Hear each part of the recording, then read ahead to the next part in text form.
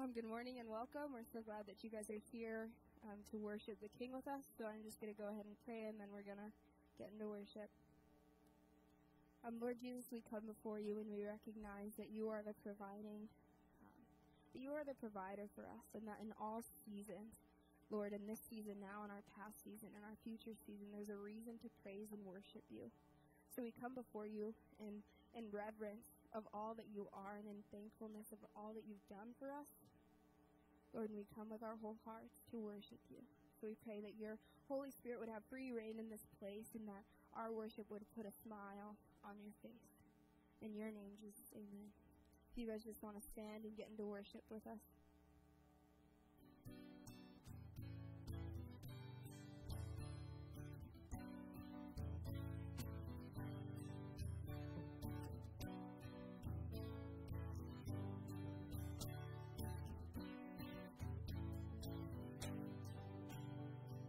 And this is my prayer in the desert. When all that's within me feels dry. This is my prayer and my hunger and need. My God is the God who provides. And this is my prayer in the fire. And weakness or trial, Lord, of more worth than gold. So refine me, Lord, through the flame. And I will bring praise, I will bring praise. No weapon formed against you shall remain. And I will rejoice, I will declare.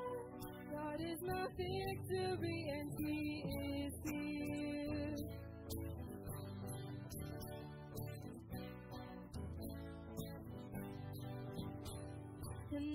Is my prayer in the battle when triumph is still on its way. Oh, I am a conqueror and co-heir with Christ, so firm on His promise I'll stand, and I will bring praise, I will bring praise. No weapon formed against me shall remain, and I will rejoice, and I will declare, God is my victory, and He is here. Oh, I will bring praise, I will bring praise. No weapon formed against me shall remain, and I will rejoice, and I will declare, God is my victory, and He is here.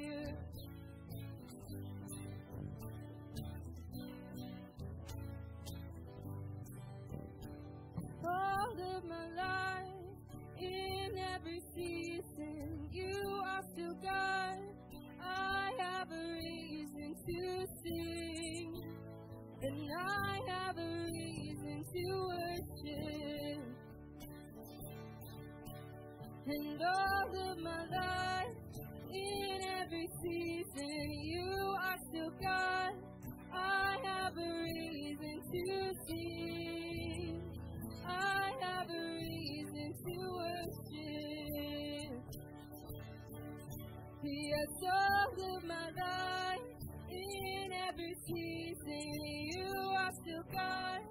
and I have a reason to worship.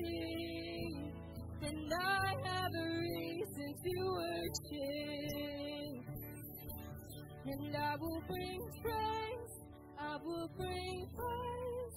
No weapon formed against me shall remain. Yes, I will God is my victory and He is here. Oh, I will bring praise, I will bring praise. No weapon formed against me shall remain. And I will rejoice and I will declare God is my victory and He is here.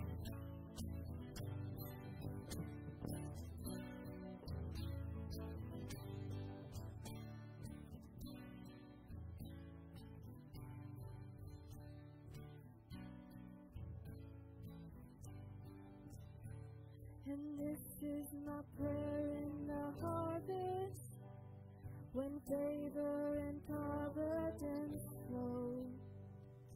I know I'm filled to be emptied again. The seed I received, I will sow.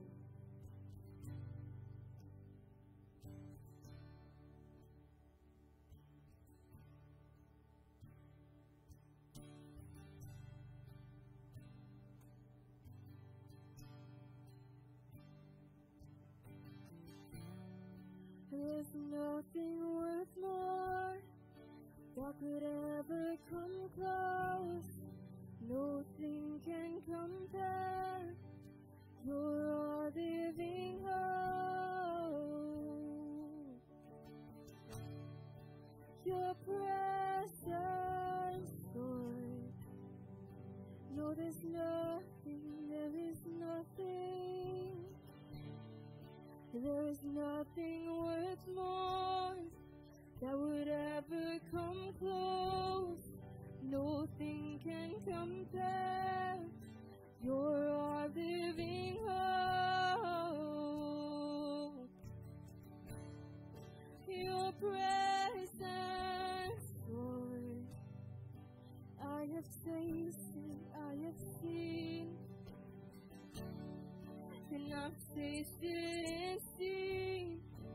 of the sweet.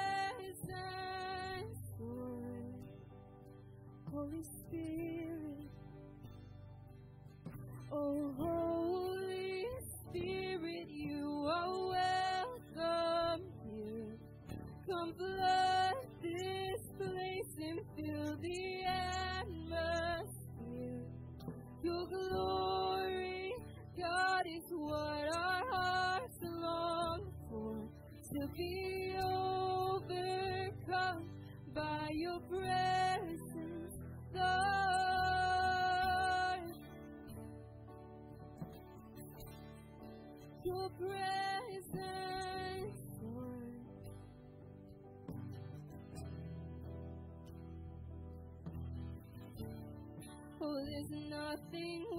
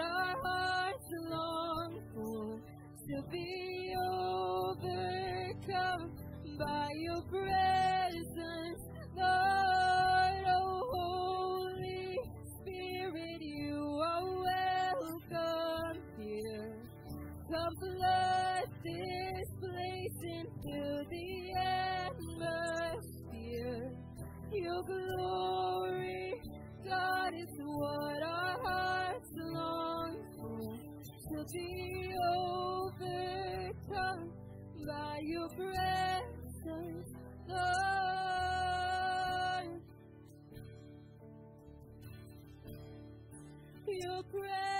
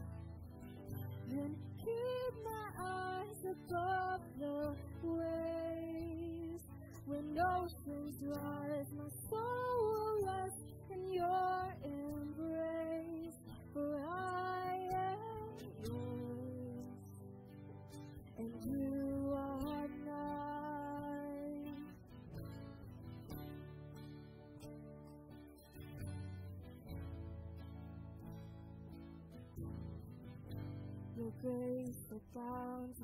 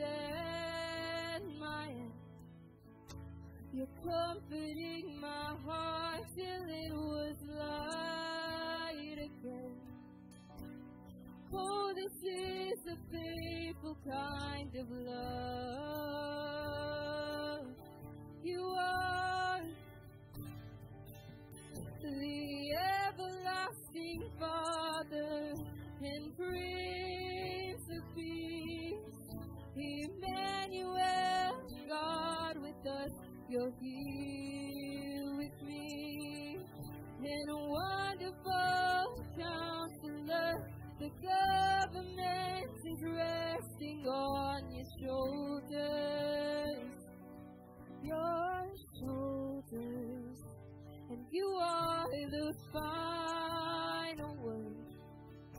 And you alone decide when every page will turn. So I will trust your timing, I will rest assured. Oh, this is the steady kind of love. You are the everlasting Father, the Prince of Peace, Emmanuel, God with us. You're here with me, the wonderful Counselor. The government is resting on your shoulders. Yes, you are. everlasting Father and the Prince of Peace, Emmanuel, God with us, you're here with me. The wonderful counselor, the government is resting on your shoulders, your shoulders, and I am we're all resting on your shoulders. The government is resting on your shoulders, and we are too. And your names say it, oh, they say it, oh, I stand in, oh.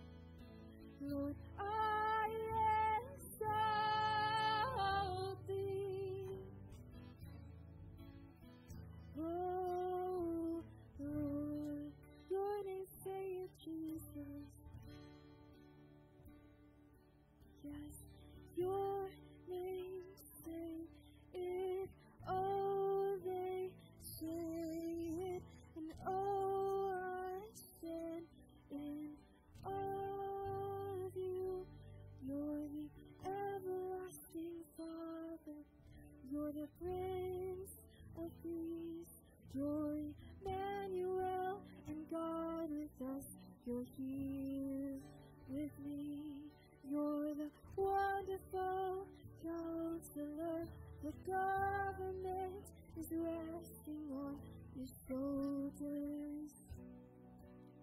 Your shoulders.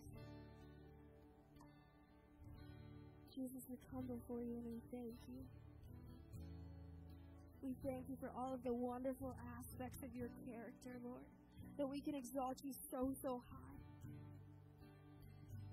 That we always have a reason to come and praise.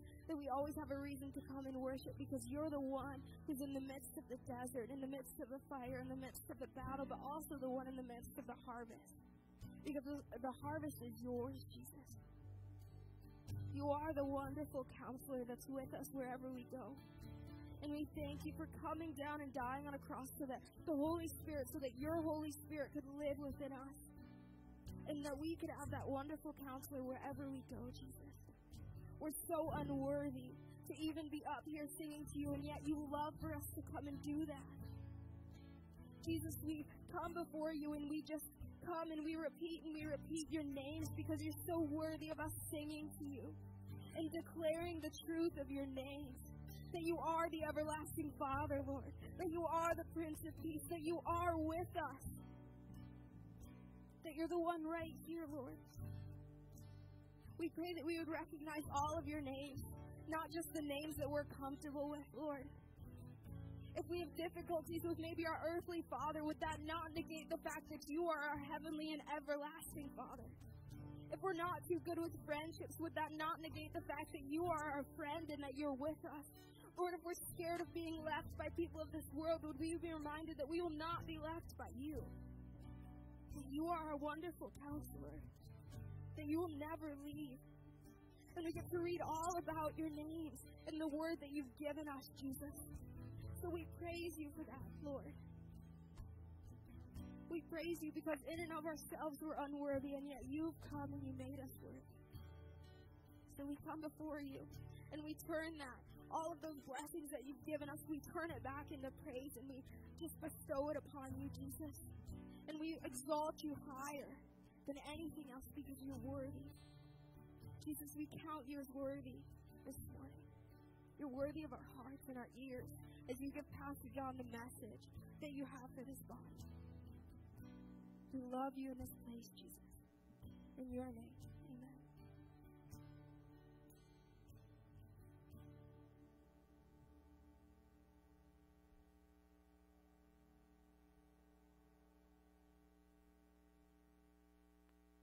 amen. Thank you, worship team.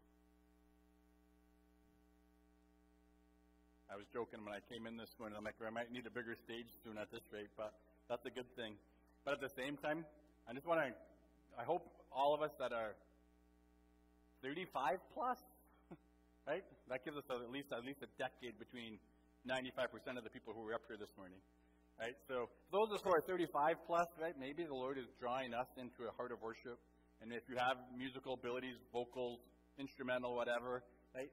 Take the risk and step up to the plate, um, and participate with the college age population of our church um, in worshiping the King. So thank you um, for your commitment down this path.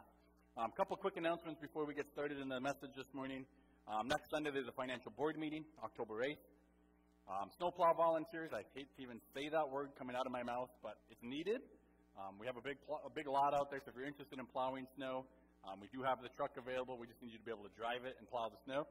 if you're interested, please see myself or contact Steve Seppala. Steve is over here. Steve, you want to stand up just so people can kind of see if they see you afterwards?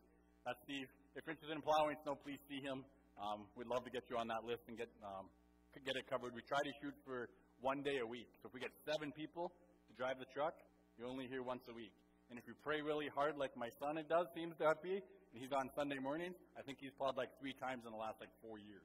Right? So if you just pray really hard that it doesn't snow on your day, the next person gets stuck with it all. Steve Seppala will attest to that fact because he plowed on Mondays and every Monday he'd plow. Isaac didn't plow Sundays. So, you know, might enhance your prayer life as well.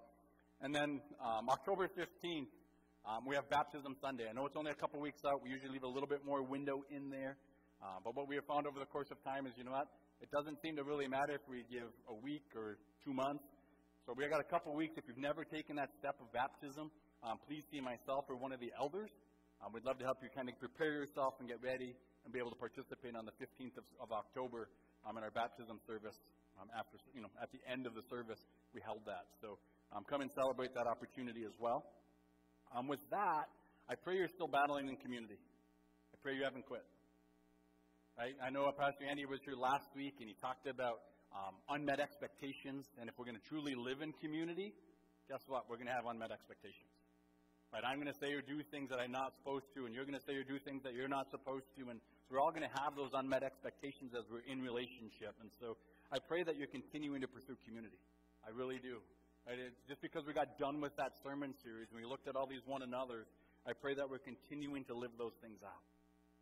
Right? That just kind of was a, a starting road into the reality that to truly be healthy, we need each other.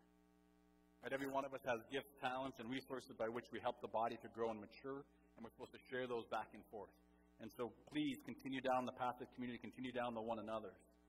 Um, we finished it two weeks ago, and I've, I've, been seeking the Lord for quite some time of where do we go next. Um, typically, what we have done is we've done topical, and then we get back into expository. And so that's exactly what we're going to do. We're going to shift into expository preaching for the next, I don't even know how long. It could be a really, really long time um, because we picked a topic of Scripture that we can either dig or we can just kind of leave it on a surface level. Um, there's been many who have asked and, and had talked about the fact we spend so much time in the epistles. Would we get back to Jesus' teaching? Right? Well, guess what? We're going to get into the Sermon on the Mount. Right? And I don't know if anybody who's been in the Sermon on the Mount, if you've read those three chapters, um, but it's kind of a very challenging, but yet at the same time a very um, rewarding, very uplifting portion of Scripture when we walk through, when we truly start to understand what's going on. And so before we kind of get into it, I want to just give you a few quotes from old time scholars of what they had to say about the Sermon on the Mount. John Stott, he says this. He goes, that just got really loud again. I don't know. So I'll let you deal with it, Mitchell, and you can adjust me as need be. Um, the Sermon on the Mount is probably the best known part of the teaching of Jesus. And most of us, if you've been in the church any duration of time, you've heard about the Sermon on the Mount. But you're aware of it at least, if nothing else. Though arguably it is the least understood and here's the hard part, and it is certainly is the least obeyed. It's probably the best known, arguably the least understood, certainly the least obeyed. It is the nearest thing to a manifesto that he ever uttered, for it is his own description of what he wanted his followers to be and to do. Sermon on the Mount is Jesus' own description of what he wanted his followers to be and to do. Martyn Lloyd-Jones, one of the you know one of the preachers from back that arguably is probably one of the best ones that is out there. He said it this way. He goes, The Sermon on the Mount crushes me to the ground again and again. That the Sermon on the Mount crushes me to the ground again and again. But after the crushing is over, it raises me up. Right, that's the reality. When we really start to dig into the Sermon on the Mount, I think what we're going to find is it, it, it destroys us because we start to realize in and of ourselves we have nothing. Right? We have nothing in of ourselves to warrant a relationship with the Father. There's nothing that He should be looking at us. Right? I go back as I've been studying through, as I think back to David. Right? Who is man that you're mindful of him? Right? Who am I that you're mindful of me, God? And, then who, you know, and you could all iterate those same words. Who am I that you're mindful of me? And yet He is.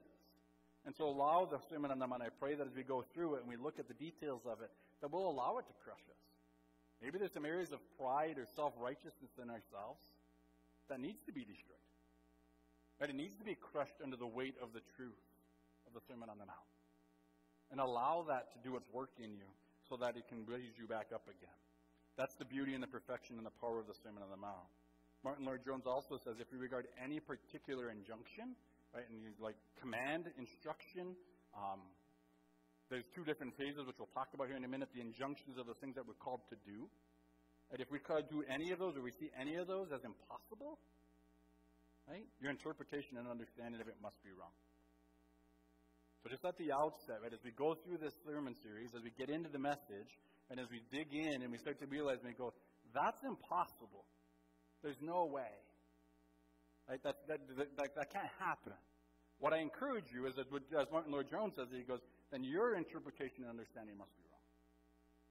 and we go, why? Well, because guess what? Jesus lived this out in his fullness. The apostles followed in his footsteps and lived it out as well, as common man. And we've been called to do the same. Right? So it's not impossible.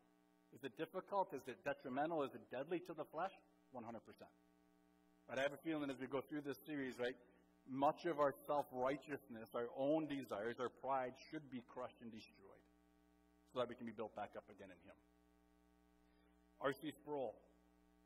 If we're not the salt of the earth, right, maybe many of us understand that verse, right? You're the salt of the earth, you're a light on a hill, right? Those types of things in, in Matthew 5. He says, if you're not the salt of the earth, it's probably because we've allowed the world to contaminate us.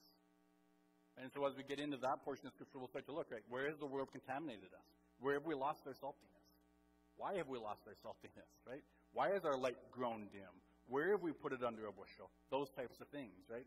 If we're, but it's, if we've allowed our salt and we've lost it, it's because we've allowed the world to contaminate us. Sinclair Ferguson, another, another preacher out there, goes, living out the Sermon on the Mount, right, living this out, can never be divorced from a right relationship with Jesus? Can never be divorced from that. Right? If we don't have a relationship with Jesus Christ, right, there's no way we can live out the Sermon on the Mount. It all starts there. And there's a reason as we go through this series, right, we'll start to realize that the Beatitudes are at the beginning for a reason. Right, they're there for a reason. They start us off, right, and they start to describe and define who a believer is, what they look like, what their character is. And if we're not that, if those things aren't secure, then we don't really need to go on. Right, because we're not going to understand the rest of it. We're not going to be able to live those things out if we're not sold out to Christ. And so we'll see that as we continue to go through. And I'll close with this one. Another preacher, I didn't catch his name, he put it this way. He goes, The Sermon on the Mount drives us to Jesus Christ into the new birth. It points us to the need that we have for faith in Jesus Christ more than any other passage in Scripture. When you go through the precepts of the Sermon on the Mount, if you make it through unscathed, then I fear for your soul. If you go through the precepts and you make it through unscathed, then I fear for your soul. If you get through and you say, check, check, I can do that. Yep, that's me. Right on down the line. Then I fear for your soul, you're self deluded. Right? So I, am just going to ask you to be prepared, right? That the Holy Spirit's going to confront some things in our lives. But as we go through this series, He's going to, you know, check us. And it's okay to go, that's not me. I'm not there right now. That's okay. That's, it, that's kind of the point of the message is to help us understand and see some of those blind spots maybe we have, to see some of those areas where we're not walking like Christ or being in the character of Christ. And allowing the Holy Spirit to bring that through and unearth it and deal with it and clean it out so that we can be healthy. Right? And we can live this out as a true follower of Christ. And so, for the next 12 to 15 minutes, if you have your Bibles, if you have your phones, because your Bible's on your phone, please pull it up to Matthew chapter 5. If not, it's going to be up on the screen. And if you've been part of this church for the last decade, there's very rarely that we put scripture up there because I believe we need to be digging in here. Right? We need to see it for ourselves. We need to be flipping through the Bible. We need to find it on our phones. We can find it in there, right? Because maybe one day comes and we're not going to have scripture on the screen. Right? It's not accessible, and so we're going to need to be able to find it in the Word. We're going to be able to find it in the Bible for ourselves and read it for ourselves. And so it'll be up on the screen for you to follow along. Um, but if you have your Bibles, I encourage you to follow there as well. Um, I'll be reading out of the ESV. Um, I encourage you over the next you know, coming weeks, read through this portion of Scripture consistently. Ask the Holy Spirit to you know, deepen it in you, right? Take it as your quiet time, as your devotionals, right? Maybe start to read even portions of it. Matthew chapter 5, starting in verse 1. Seeing the crowds, he went up on the mountain, and when he sat down, his disciples came to him. And he opened his mouth and taught them, saying, Blessed are the poor in spirit, for theirs is the kingdom of heaven. Blessed are those who mourn, for they shall be comforted. Blessed are the meek, for they shall inherit the earth. Blessed are those who hunger and thirst for righteousness, for they shall be satisfied. Blessed are the merciful, for they shall receive mercy. Blessed are the pure in heart, for they shall see God. Blessed are the peacemakers, for they shall be called sons of God. Blessed are those who are persecuted for righteousness' sake, for theirs is the kingdom of heaven. Blessed are you when others revel you and persecute you and utter all kinds of evil against you falsely on my account. Rejoice and be glad, for your reward is great in heaven, for they for so they persecuted the prophets who were before you. You are the salt of the earth, but if the salt has lost its taste, how shall its saltiness be restored? It is no longer good for anything except to be thrown out and trampled under people's feet. You're the light of the world. A city set on a hill cannot be hidden. Nor do people light a lamp and put it under a basket, but on a stand, and it gives light to all in the house. In the same way, let your light shine before others, so that they may see your good works and give glory to your Father who is in heaven. Do not think that I have come to abolish the law or the prophets. I have not, I have come, I have not come to abolish them, but to fulfill them. For truly I say to you, until heaven and earth pass away, not an iota, not a dot, will pass from the law until it is accomplished. Therefore, whoever relaxes one of the least of these commandments and teaches others to do the same will be called least in the kingdom of heaven. But whoever does them and teaches them will be called great in the kingdom of heaven.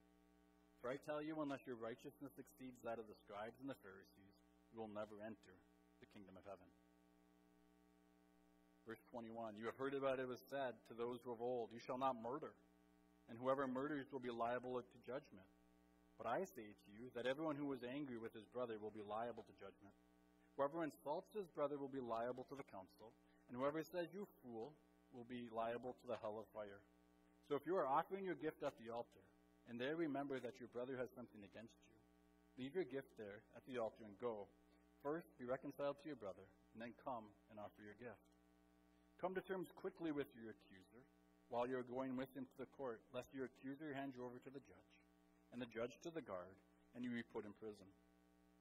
Truly I say to you, you will never get out until you have paid the last penny. You have heard that it was said, You shall not commit adultery. But I say to you that everyone who looks at a woman with lustful intent has already committed adultery with her in his heart. If your right eye causes you to sin, tear it out and throw it away. For it is better that you lose one of your members than the whole body be, be thrown into hell. And if your right hand causes you to sin, cut it off and throw it away. For it is better that you lose one of your members than your whole body go into hell. It was also said, Whoever divorces his wife, let him give her a certificate of divorce. But I say to you that everyone who divorces his wife, except on the ground of sexual immorality, makes her commit adultery. And whoever marries a divorced woman commits adultery.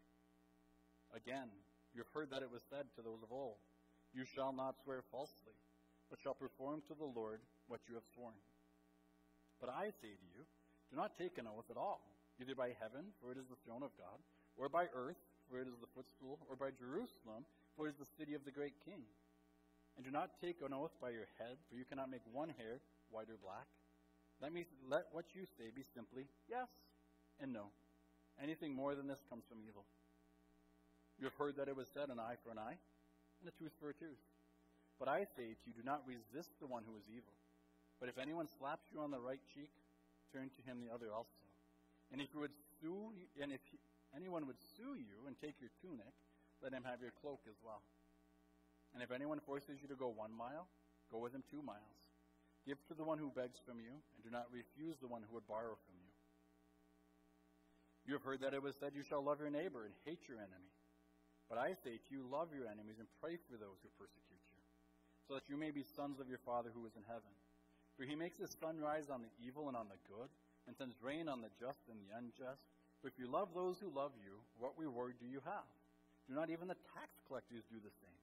And if you greet only your brothers, what more are you doing than others? Do not even the Gentiles do the same? You, therefore, must be perfect as your heavenly Father we could just stop there and go, oh boy, that's enough. Check, I'm good. Leave me alone. Continuing on, chapter 6. Beware of practicing your righteousness before other people in order to be seen by them. For then you will have no reward from your Father who is in heaven.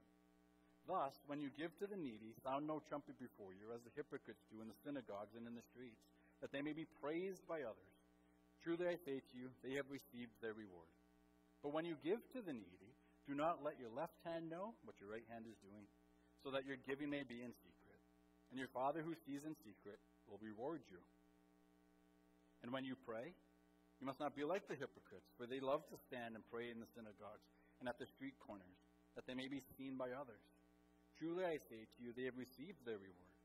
But when you pray, go into your room and shut the door, and pray to your Father who is in secret. And your Father who sees in secret will reward you. And when you pray, do not heap up empty, fra- empty phrases as the Gentiles do, for they think that they will be heard for their many words. Don't be like them, for your Father knows what you need before you ask Him. Pray then like this Our Father in heaven, hallowed be your name. Your kingdom come, your will be done, on earth as it is in heaven. Give us this day our daily bread, and forgive us our debts, as we also have forgiven our debtors. And lead us not into temptation, but deliver us from evil. For if you, for if you forgive others their trespasses, your heavenly Father will also forgive you. But if you do not forgive others their trespasses, neither will your Father forgive your trespasses. And when you fast, do not look gloomy, like the hypocrites, for they disfigure their faces that their fasting may be seen by others. Truly I say to you, they have received their reward. But when you fast, anoint your head and wash your face, that your fasting may not be seen by others, but your Father who is in secret. And your Father who sees in secret will reward you. Do not lay up for yourselves treasures on earth, where moth and rust destroy and where thieves break in and steal but lay up for yourselves treasures in heaven, where neither moth nor rust destroys, and where thieves do not break in and steal. For where your treasure is, there your heart will be also. The eye is the lamp of the body. So if your eye is healthy, your whole body will be healthy, or your whole, your whole body will be full of light. But if your eye is bad, your whole body will be full of darkness. If then the light in you is darkness, how great is the darkness? No one can serve two masters. For either he will hate the one and love the other, or he'll be devoted to the one and despise the other. You cannot serve God and money. Therefore I tell you, do not be anxious about your life, what you will eat or what you will drink, nor about your body, what you will put on.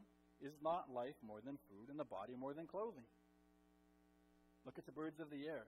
They neither sow nor reap, nor gather into barns, and yet your heavenly Father feeds them. Are you not more valuable than they? And which of you, by being anxious, can add a single hour to his span of life? And why are you anxious about clothing? Consider the lilies of the field, how they grow. They neither toil nor spin. Yet I tell you, even Solomon in all his glory was not arrayed like one of these. But if God so clothes the grass of the field, which today is alive and tomorrow is thrown into the, into the oven, will he not much more clothe you? O you of little faith. Therefore, do not be anxious, saying, What shall we eat, or what shall we drink, or what shall we wear?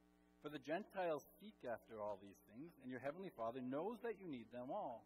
But seek first the kingdom of God and his righteousness, and all these things will be added to you. Therefore, do not be anxious about tomorrow for tomorrow will be anxious for itself. Sufficient for the day is its own trouble. Chapter 7. Judge not that you, not be ju- that you be not judged. For with the judgment you pronounce, you will be judged, and with the measure you use, it will be measured to you. Why do you see that? Why do you see the speck that is in your brother's eye, but do not notice the log that is in your own eye? Or how can you say to your brother, Let me take the speck out of your eye, when there is the log in your own eye? You hypocrite, first take the log out of your own eye, then you will see clearly to take the speck out of your brother's eye. Don't give dogs what is holy, and do not throw your pearls before pigs, lest they trample them underfoot and turn to attack you. Ask, and it will be given to you. Seek, and you will find. Knock, and it will be opened to you. For everyone who asks receives, and the one who seeks finds, and the one who knocks it will be opened. Or which one of you, if his son asks him for bread, will give him a stone? Or if he asks for a fish, we'll give him a serpent. If you then who are evil know how to give good gifts to your children, how much more will your Father who is in heaven give good things to those who ask of him?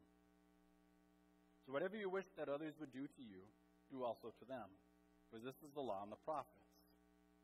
Enter by the narrow gate, for the gate is wide and the way is easy that leads to destruction, and those who enter by it are many. For the gate is narrow and the way is hard that leads to life and those who find it are few. Beware of false prophets who come to you in sheep's clothing, but inwardly are ravenous wolves. You will recognize them by their fruits. Are grapes gathered from thorn bushes or figs from thistles? So every healthy tree bears good fruit, and the diseased tree bears bad fruit. A healthy tree cannot bear good fruit, cannot bear bad fruit, nor can a diseased tree bear good fruit. Every tree that does not bear good fruit is cut down and thrown into the fire. Thus you will recognize them by their fruits. Not everyone who says to me, Lord, Lord, will enter the kingdom of heaven, but the one who does the will of my Father who is in heaven. On that day, many will say to me, Lord, Lord, did we not prophesy in your name, and cast out demons in your name, and do many mighty works in your name? And then I will declare to them, I never knew you. Depart from me, you workers of lawlessness. Everyone then who hears these words of mine and does them will be like a wise man who built his house on the rock. And the rain fell, and the floods came, and the winds blew and beat on that house. But it did not fall, because it had been founded on the rock. And everyone who hears these words of mine and does not do them will be like a foolish man who built his house on the sand. And the rain fell, and the floods came, and the winds blew and beat against that house, and it fell, and great was the fall of it. And when Jesus, when Jesus finished saying these things, the crowds were astonished at his teaching for he was teaching them as one who had authority and not as their scribes. Anybody make it through unscathed? I guess we probably know, right? And that's okay. There's the three chapters we're going to spend the next, I don't know how long in. Right? I don't know how deep in, in depth we'll go into all these things. Um, but what I hope to do for the remainder of this morning is just kind of give us a, a quick outline, if you will, a big picture um, of this portion of Scripture like I said, we could stop there, and you've been heard probably the best message that you could possibly hear, right? The best sermon that's out there. You just heard it, right? And so um, we could stop there and call it a day. Um, but I want us to give us a quick outline of kind of where we'll be headed for the next several months. Um, right out of the gate, and again, I want us to understand that this sermon describes the character of a true disciple of Jesus, not the requirements to become one. Right? We need to understand that right out of the gate. Jesus isn't prescribing a list of things that we need to do to become believers. He's actually just going ahead and describing what a true believer looks like. Right? What's the character of a true believer? What's the life of a true believer look like? Right? How do they respond? How do they live as a result of this changed character? If we get that wrong, right? If we if we read through this and, and you read through this in your weeks ahead, and you start to think that I I just need to go and I need to do all of these things, we'll get to those places where you ask to like give them your tunic and go with them two miles instead of one, and all of these things. And they'll be like, that's impossible. And you're right, it is. In the flesh, it's impossible. Right? That, that's not what he's calling us to do. He's saying this is what your life will start to look like as my character is in you, as a follower of my, of, my, of my lifestyle. We don't do to be saved. Instead, we do because we are saved. Right? We can look at it that way. Right? Our works aren't to get us there. Our works are proof or a result of the fact that we are there. Now, as I was continuing to kind of drive this point home, I came across a quote from an elder at a church who was preaching on this message. His name is David Leventhal. And I just, I, I love the quote. I, I wrote it down. I've got a kind of a sticky note for myself to remind myself. He puts it this way. He goes, We do not work towards the cross, we work from the cross. There's a big difference between those two. We don't work towards it. We start at the foot of the cross. We understand that we have nothing. We understand that Jesus is everything. And we work from that place. We work out of that relationship. We work out of the finished work that Jesus accomplished for us. Not to receive it or achieve it. We actually work from that place of salvation. And so Jesus in this series will answer kind of two questions throughout, right? What does the kingdom of God person believe? That's question number one. And then how are they to live as a result of that? Those are kind of the two questions that Jesus is going to answer throughout this series for us, if you will. What does the kingdom of God person believe? And how are they to live as a result of that belief. We're blowing this thing apart. We're going to get into two large categories, two large um, topics, and maybe just want to put them in your notes for, for going forward. There's the general, and then there's the particulars. There's the description or the definition of a disciple and the character of a disciple, and then there's the life that comes out of it, if you will, that way. So there's the general and the particulars. The general covers chapter 5, verses 3 through 16. So the general category is chapter 5, verses 3 through 16. And then the particular category covers the rest of the sermon. And it takes from that point on, and now we get to dive into it all, right? We get to look at what life looks like. And so, first in that general category, there's the three different um, subheadings underneath it that we'll talk about. We'll probably blow these subheadings apart even farther, unless we group them a bunch. Uh, but the first one is under that general category is the, the Christian's character. This is the list of the Beatitudes. Right? If you remember, right, if you still have your Bibles open, go ahead and look back at chapter 5, verse 3. Right there it starts. Blessed are the poor in spirit, for theirs is the kingdom of heaven. Right? It all starts there, and then there's this kind of this ladder effect. If we don't understand that we're poor in spirit, we ain't going to get very far. It all starts with this understanding that we are nothing before the Father. That I have nothing to bring to Him that warrants Him to accept me. I'm poor in spirit. He goes, and when we understand that we're poor in spirit, when we understand that that's my character, that I've got nothing that warrants salvation, right? Theirs is the kingdom. Right? There's this character that realizes who we are. And it's not that we got this pride, but it starts in that in that verse, chapter ver, uh, chapter five, verse three. That we come in as somebody who's poor. Martyn Lloyd-Jones again, talking about the Beatitudes, he says they do not come at the end, they come at the beginning. I do not hesitate to say that unless we are perfectly clear about them, we should go no further. Right, so that's probably where we're going to spend quite a bit of time in the next probably four, five, six, seven weeks. Right, is we're going to spend time because he's like, as Martyn Lloyd-Jones, because if we're not clear about those, there's no point in moving on. But if we don't understand that, that we're poor in spirit and that, that blessed are the peacemakers and blessed are the merciful, and we don't understand that character, that, that foundational truth, there's no point in moving on. So we're going to start there, going through the character of God, right? And understand, or the character of a believer, not the character of God, the character of a believer. And if you're not a Christian, you can't live out the Sermon on the Mount. We can't live out all of the, the particulars that we're going to talk about further down the line. It's not possible. Because if you don't have the Holy Spirit in you to empower you to live them out. The only way that we can live them out is with the Holy Spirit living in us and empowering us to go forward. So that's verses 3 through 10, the character of the Christian. Next subheading, subheading is the reaction of the world. Verses 11 and 12. Blessed are you, right? happy, approved, depending on, and we'll define blessed going forward, but those are come of the definitions, right? Happy or approved or those types of things. Blessed are you when others revel you and persecute you and utter all kinds of evil against you falsely on my account. Rejoice and be glad, for your reward is great in heaven, for they so persecuted the prophets who were before you. If we're going to live out this Christian life, if we're going to live out of Christ like character, if we're going to walk in the Beatitudes and all that follows, right, you will be persecuted. That's how the world responds. Right? And I know that that's completely maybe like offensive to us, but we don't want to. Well, guess what? It's going to happen. But if we're truly going to live out the faith, right, we will be persecuted. Paul reemphasizes this in 2 Timothy 3.12 to, to, you know, to his young protege. He's like, anybody who desires to live godly will be persecuted. But if we're going to take this walk serious, if we're going to take the Sermon on the Mount serious, if we're going to challenge one another to live this out seriously, right? Take it for what it is, right? This is truly what we're called to be, right? Then I would say prepare for persecution. Because it goes counterculture. That is, as we go through the Beatitudes, I think we'll see that. It's completely counterculture. Our world doesn't say this. Our world puts it the other way around. It flips it upside down and says, no, no, this is what it's like. And so prepare to be persecuted. Prepare to get some pushback and some flack as we come into this. Right? The world isn't going to stand for it very well. And that's okay. Jesus calls you blessed when you're persecuted, when people say things about you. And that's hard to maybe accept when people start that, but just remind ourselves of the reaction of the world. And then the last one, under the setting of the generals, is the Christian's influence. Right? That's verses 13 through 16. Right? The Christian's influence. We're supposed to have an illuminating effect on the society. Right? We're supposed to reveal things. We're supposed to reveal Christ to them. Right? They should see Christ in us, through us. And we're supposed to have a preserving influence like salt did on me, right? In the way that the world is affected by believers again. We're supposed to be salt and we're supposed to be light. And we'll look in and we'll dive into those things. The Christian's influence on the world.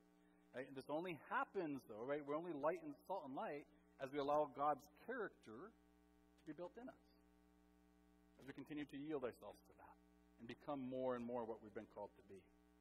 And so that's the general category. Our character, the reactions, the world's reaction to our character, and then the Christian's influence on society. We're, we're meant to have an impact. But if you will touch at the end of verse 16, um, in the same way, let your light shine before others, so they may see your good works and give glory to your Father. Right? We're supposed to have an impact in the world, church. Right? We're supposed to live our lives in such a way that the world sees how we live and they praise Him. They glorify Him because of the way that we're walking day in and day out. So, shifting from the generals to the particulars, I have one author who says it's another way of saying maybe case studies in the kingdom of life, right? in, in the kingdom life. Right there, it's just these, these specifics that are out there. The first chunk under there Right? First little kind of heading is a Christian's righteousness. Chapter 5, verses 17 through 18. Christian's righteousness. Another commentary says this is the true spirit and intent of the law.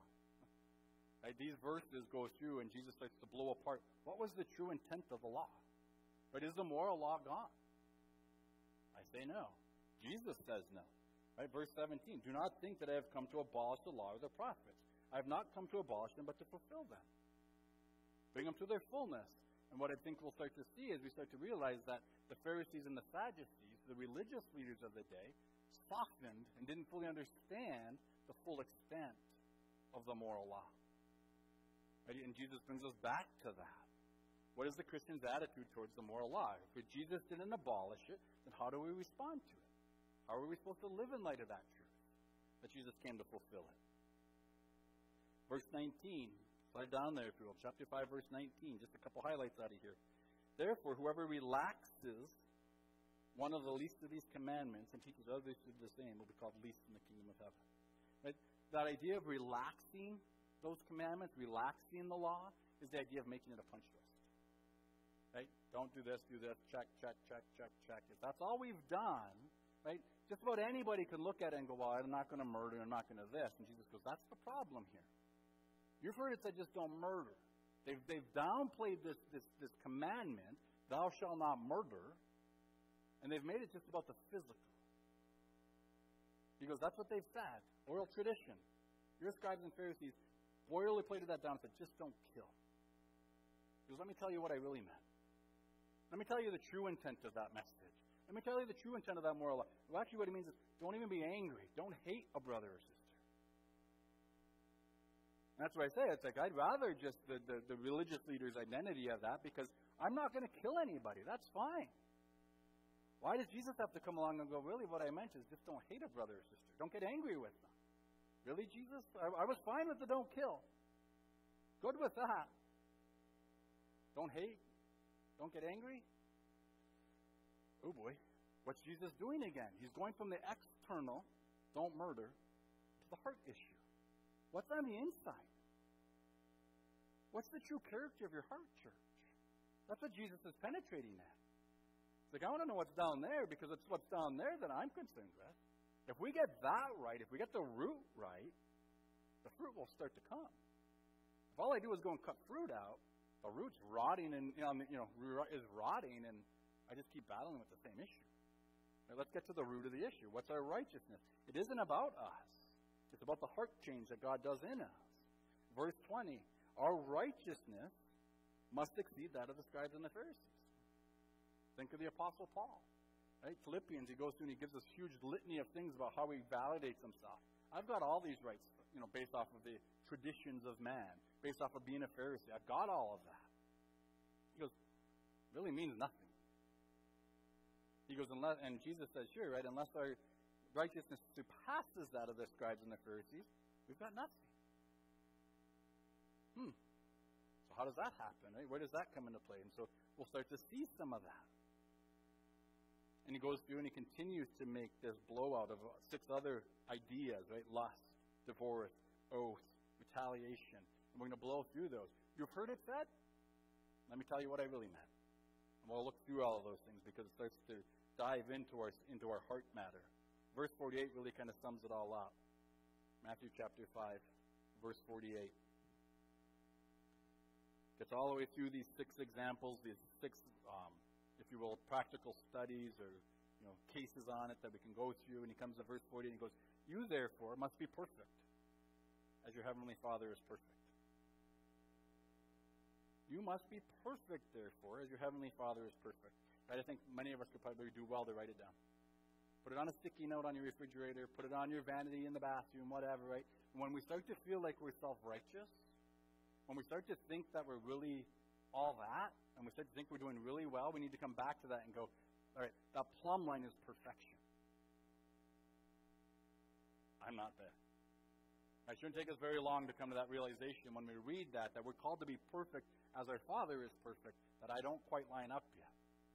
I really shouldn't think so highly of myself because I'm not there, right, in a practical standpoint. And we need to allow ourselves to understand that and to realize that and to be reminded of that on a consistent basis.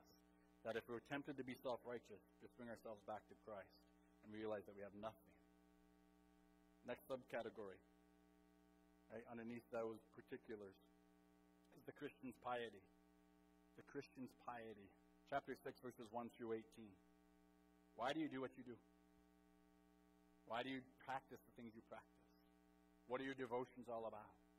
Do you do the things you do so that all of you people see me and you think really good of me? I'm going to pray, I'm going to give, I'm going to fast, and I want everybody to know it. Because then you'll think I'm a really good Christian and you'll think I'm doing really, really well, and that's awesome. And Jesus says in each of those cases, they've received their reward. What is our piety, right? He calls them hypocrites. And unfortunately, right, the world has the right, when we start to talk about our faith and our religion and our trust in Jesus Christ and our relationship with Him, that when we say we do, but yet all of our lifestyle shows that I'm just trying to attract you people, or you're trying to attract your friends or coworkers or classmates or whatever it might be, so that they think high of you, they have every right to go, You're a hypocrite. What are you doing? That you say that you're all about your Father's business. You say that you're here to please Him, but yet you're trying to capture my attention. You're hypocritical. Right? What is your piety? How do we live that out? And Jesus says, right, do all of these things in private. Why? Because what you do in private, where you see your Father, right, in this intimacy, intimate relationship with the Father, what you do in private, He sees. And He promises to reward. Right? So when you're in prayer, go into your room, shut the door. When you give, don't let your left hand know what your right hand's doing. All those types of things. Right? We need to check our heart motivation again. Why do we do the things we do? Am I doing them to be seen by others, or am I doing them to be seen by my Heavenly Father? Is He my true desire? The Christian's Piety, chapter 6, verses 1 through 18. Two more subcategories in here. The dangers of materialism, chapter 6, verses 19 through 34. Do we live our lives as though we completely trust that God will provide everything we need?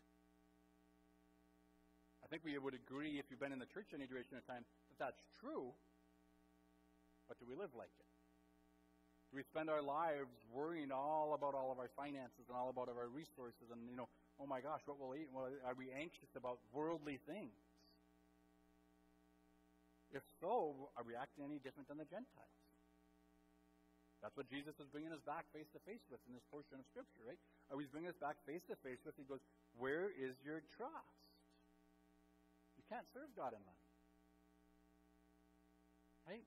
Jesus dresses the, the, the, you know, the birds of the field, he feeds them. The flowers of the, you know, of the field, he takes care of. And you're concerned and acting like he's not going to care for you. What kind of faith is that? But Jesus challenges us on that thought process. That there's a danger in material stuff. There's a danger in this constant pursuit of worldly success.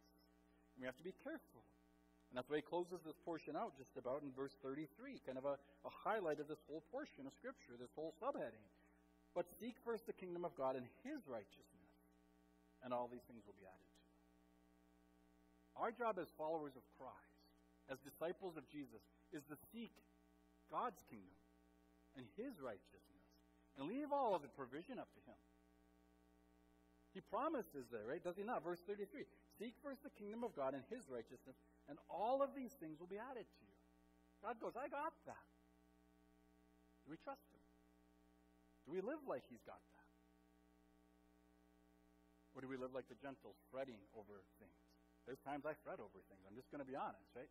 As a husband, as a father, right? We had four young kids at home and all these things. I go, oh my gosh, do we have enough to pay? Do we this, do this, whatever, right? And slowly but surely starts to grow us in these areas, right? Do we trust? Or do we fret and anxious and anxiety over the things of the world? Dangers of materialism, chapter 6, verses 19 through 34. And then the final heading is blown into several others. It's the whole entirety of chapter 7. Chapter 7 talks about living in view of the coming and final day. Right, there's a judgment day coming, correct? Do we agree that there's judgment coming? I hope so, because there's a day coming when we will be judged. Right, there's no ifs, ands, or buts down that path. Right? There's a day coming called the day of judgment. Paul says 2 Corinthians 5.10. Go ahead and flip there. Keep your finger in, in Matthew chapter, Matthew chapter 7. Go to 2 Corinthians chapter 5.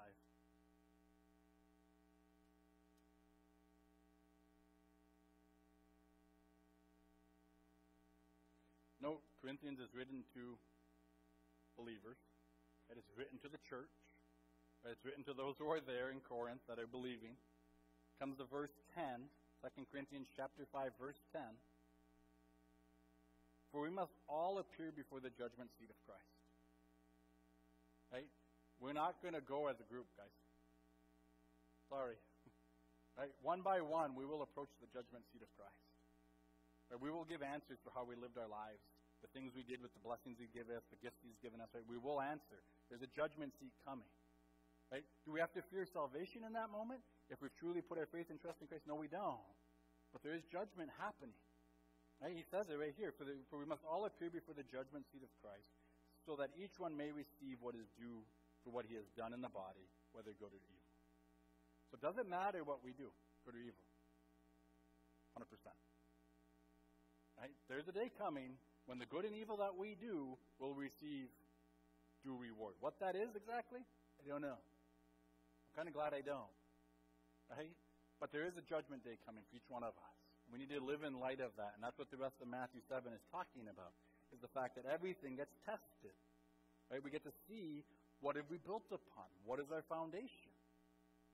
Is the foundation the things of this world? Is the foundation Christ? Who's the rock? Right? And we'll get this right at the end in, in the last the last example at the end of Matthew chapter seven. And so there's a few things here as we blow these apart, some comparisons, some thoughts that Jesus closes us out with. First one, watch how you judge. Verses one through six. Our society is big on don't judge, correct? Huge. Can't judge me. Yes, no. Careful. Right? We'll, we'll blow this apart and start to understand that, right? The way we judge will judge will be judged. Maybe it needs to change the way we view people and the way we judge things in their lives. But the purpose that he starts to talk about in Matthew chapter 7 is that we, we see things in our brothers and sisters' lives, but let's come from a healthy place. Where we deal with the log that's in our eyes so that we can maybe take the speck out if the Lord grants us that opportunity out of a brother's or sister's eye. We have opportunities to go down that path. But be careful how we go through and judge. Verses 13 and 14, I just have a, a, a title for me. What road are you on, the wide or narrow? What road are you on? Wide or narrow? There's two options. Unfortunately, let me get back to Matthew 7 here real quick. Unfortunately, the wide road's pretty full. Unfortunately, I think the wide road is labeled heaven. Because anybody who was on the wide road and it was labeled hell, they wouldn't be on it, I promise you. They wouldn't. Right? So it's labeled the same direction. Which road are you on? Wide or narrow? Right? It's important right, that we go through and we're walking the right path. We have to be able to answer that. Verses 15 through 20 of Matthew chapter 7. What kind of tree are you? Are you a good tree? Are you a bad tree? What is your life? Right? Good tree, bad tree. Another way you could take the same thing, right, tied into those verses 15 through 20. What fruit are you producing? What fruit are you producing? Is there love, joy, peace, patience, kindness, goodness, faithfulness, gentleness, self control? Are those things coming out? Is Christ like character coming out? Is there humility and putting others first and those types of things coming out of your life? Or is life all about me? And if life is all about me, I need to check my tree. Maybe my tree isn't very healthy. Right? Maybe my tree isn't rooted where it needs to be rooted. Maybe I'm on the wrong. I'm not just on the wrong path. I'm in the wrong tree. I'm producing the wrong fruit, and we'll we'll blow that apart. Because in that portion, he also talks about the fact that we can tell who false teachers are based off of their fruit. Are we supposed to examine fruit or judge depending on which word you want to use? Right? We're called to look at that. We need to be looking at that in each other's lives, right? Especially of those who are teaching you and whatnot. What's the fruit coming out of them? verses 21 through 23, this is one of the harder ones for me, right? Because it's, it's, a, it's a dangerous thing. Because in our society today, in the church today, this is so true. Right? If you just, just declare Him Lord, you're good. Everybody takes it for granted that you're in. And that's a scary thought because Jesus doesn't say that. Verses 21 Not everyone who says to me, Lord, Lord, will enter the kingdom. Not everyone who says, Lord, Lord, will enter the kingdom, but only he who does the will of my Father. Right? There's two claims there, right? Basically, we're proclaiming with our mouth, Jesus, you're my Lord, and Jesus sits and goes, Am I really? Right? Think about your own profession. Lord, you know, Jesus, you're my Lord. And you Am I really? What tells me you're Lord? What's the evidence? Right? that he's Lord of your life. And instead, he says at the end, he goes, he continues on, on that day many will say to me, Lord, Lord, did we not prophesy in your name and cast out demons in your name and do mighty works? Verse 23, then I will declare to them, I never knew you. Depart from me, your workers of lawlessness. Right? So again, maybe we're trying to earn our way in. He goes, you know, that don't work. I don't know you. Works don't get it done. Right? Down that path. We want to make sure that our claim is valid.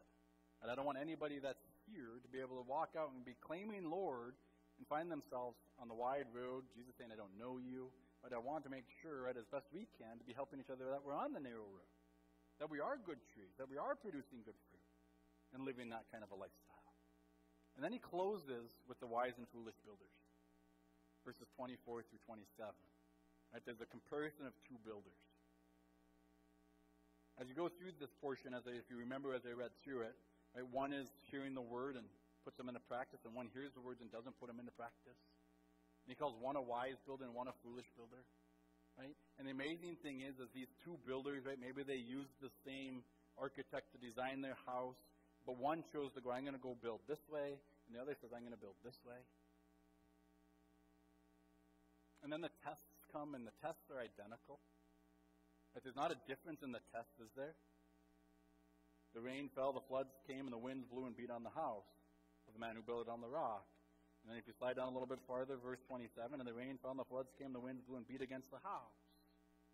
Tests were the same. It's not like it was harder on one than the other. Tests are the same. Right? Are we all of our tests identical? No. But they're the same. Right? They, they're going to be tested. How we build is going to be tested. Right? And the fact of the matter is, is we're all building something.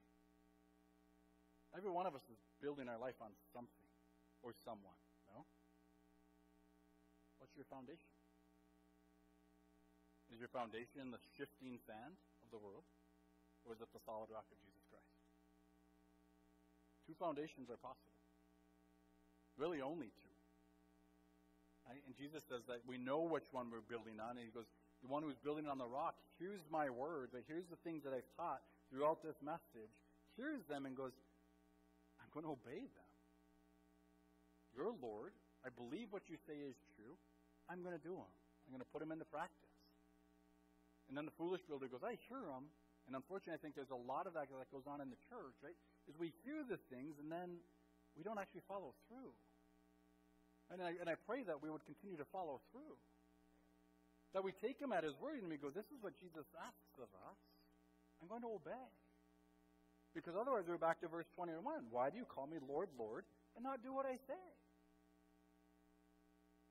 Why? Happens at times, no? Doesn't my life still. Ask you to do something, right? And I, and I sit there and I listen to him tell me, I need you to go do this. And I'm like, no, I'm not doing that. And he comes back he's like, why do you call me Lord and not do what I say? Did you not did you not just hear me? I asked you to go do X. Yeah, but God, it's not really convenient right now. I, I, that, that, it'll make me really uncomfortable if I go do that. He's like, Did I ask you? Am I concerned about what you felt like? I asked you to go do it. I'm Lord, no? Yeah, you are. Right? And I'm going to go do those things. I'm going to obey. And Jesus says, if we're willing to obey the things that He asks of us, at the teachings He puts forth, we're wise builders. I pray that we're all wise builders. That we're building with, with gold and silver and precious jewels and not wood, hay, and stubble. Right? And I encourage you to, you can go look that verse up for yourselves, right? Which product are we building with? Wood, hay, or stubble? Or precious stones, gold, right? Because we're building with one or the other. Unfortunately, sometimes it's mixed. And sometimes there's wood, hay, and stubble in my building. Sometimes there's precious stones in my building. Those wood, hay, and stubble, they're going to get burnt up. They're not going to mean anything in eternity. Right? Those other things will last and they'll continue to go on. So you have to ask yourself, right? What am I or who am I building my life upon? As we come to the close of the sermon series, you know, in the weeks ahead. The Sermon on the Mount points to the way the things, where the things you should do will last kind of a broad overview, broad spectrum of where we're going to spend probably the rest of this year for sure, is my guess. Right? There's so much in it. And so I encourage you, like I said at the beginning, right? Spend some time reading it, ponder it, dig into it for yourself. There's huge amounts of resources out there, right? I look forward to lively discussions as we go forward. Right? As we go and we preach messages, right? And there's things we have questions on and things. Let's discuss them. Let's help each other grow. Right? This is the whole purpose of this. As we dive into these different character traits of who we are and the expectations of who we are as followers of Christ. Let the Sermon on the Mount crush us and then bring us back out healthy on the flip side. Let's go ahead and close out in prayer. Father God, we thank you for the truth word. We thank you for this message, I think.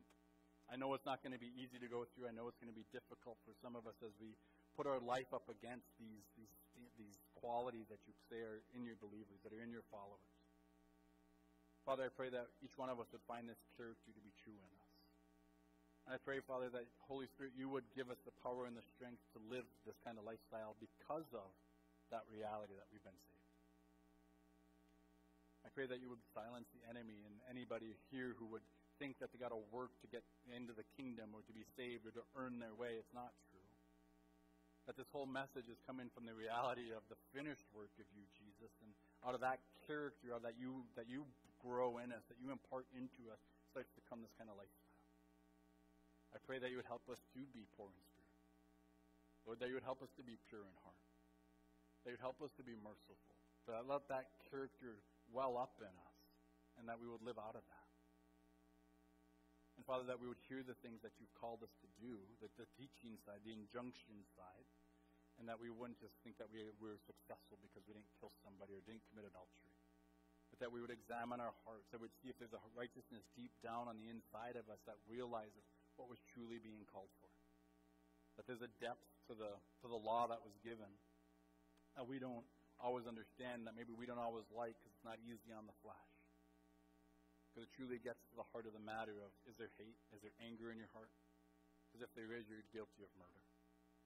Father, my guess is there's many of us in this room that are guilty of murder per that standard. Would you forgive us? Would you give us the strength to turn that around? Would we allow that to, to tear us down so that we can be built back up? That it would take out those weak spots in our walks with you. Lead us and guide us through this sermon. Holy Spirit, do penetrating work in each one of our lives. And each one of us is in different spots and you know that. Meet us in those areas. In Jesus' name we pray.